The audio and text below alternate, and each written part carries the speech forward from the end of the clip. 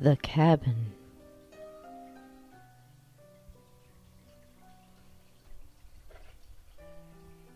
On a fall day in 2001, I thought it a wonderful idea to rent one of those log cabins out on Monte Sano Mountain in Alabama.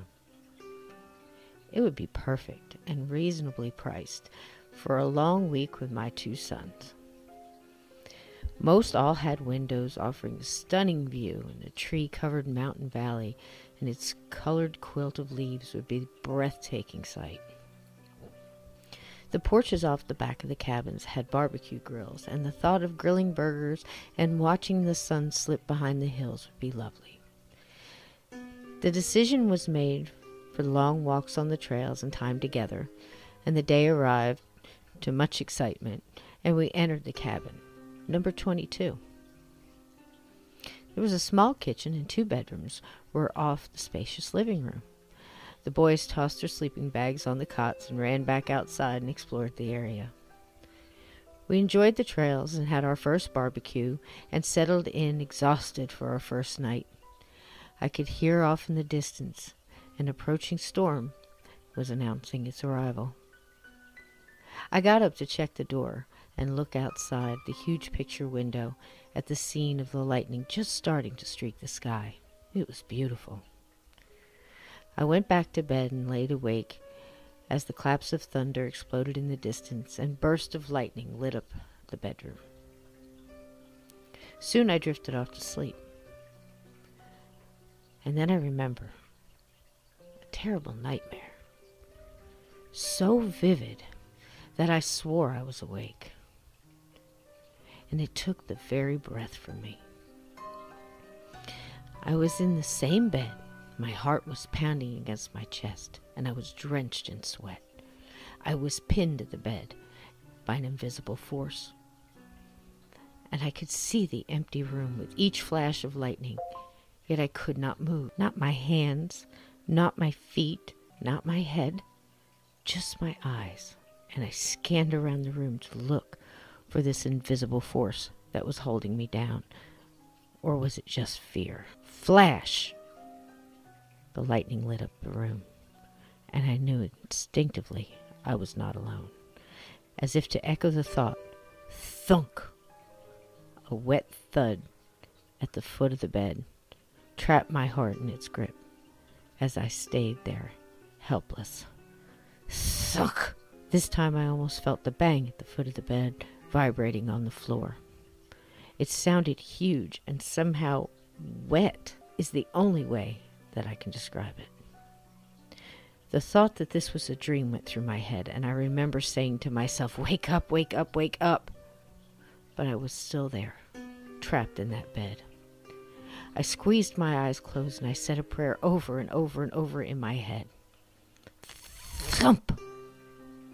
An invisible something punched at the bottom of the bed, right between my feet. My eyes flashed open and nothing was there. Thump! A wet, dragging sound that seemed to move away, and I stretched my vision as far as I could see what was making this noise.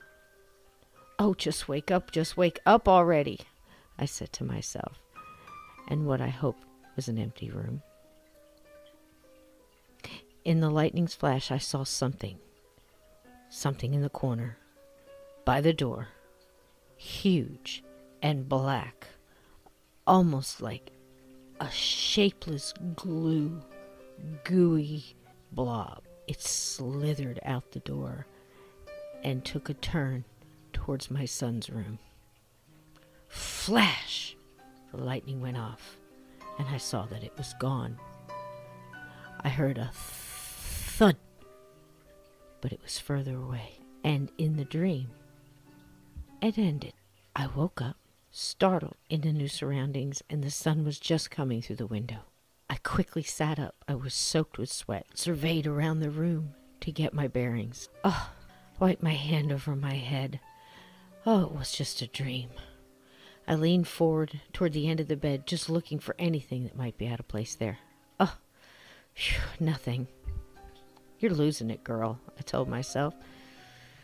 That was a humdinger of a dream, I shook it off and I got up and quick ran and checked on the boys who were asleep.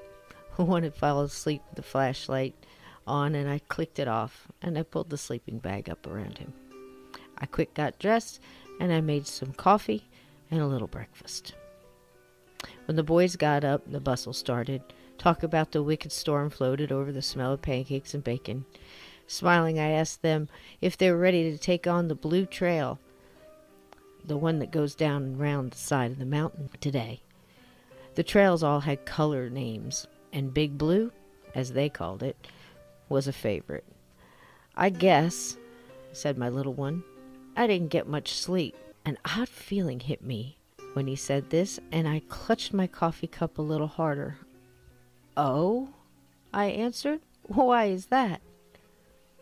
I was up all night. Something was in my room, and nobody would wake up or answer me when I yelled. I, I didn't hear you. Mom, I screamed loud. I swear I saw it with my flashlight. Something big and black, like a huge garbage bag filled with goo. Oh, you're just dreaming, you goof, said my older son as he kind of punched him in the arm. Well, it was loud, and it hit my bed, and it banged on the floor, and it smelled bad, too. For reasons only boys know, they both laughed at this. I was nowhere near laughter. My head spun with the realization my dream was a living nightmare, but I didn't want to scare them.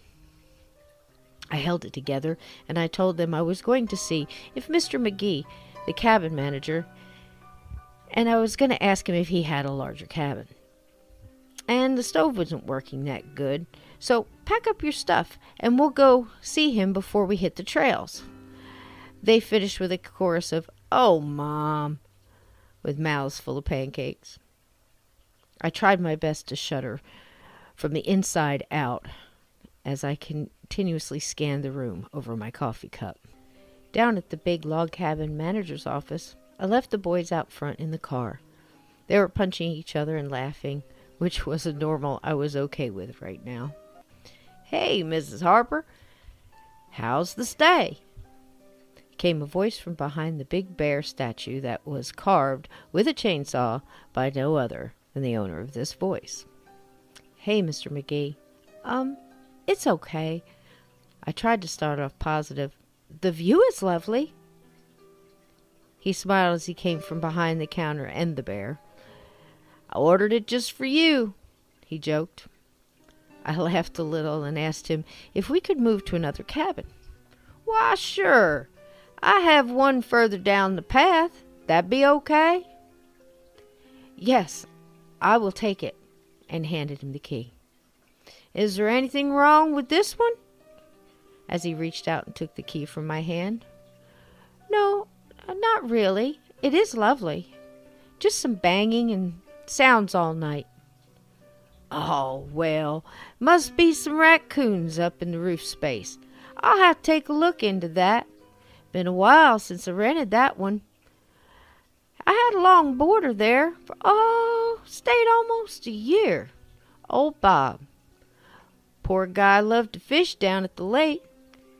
One day, poor guy, he lost his footing and fell in. Hit his head on one of those rocks and drowned. Awful thing. About a month or so back. Took them a while to find him, too. When they pulled him out, he was darn near all black with that river moss. My eyes widened as he handed me the key. Will you be staying long?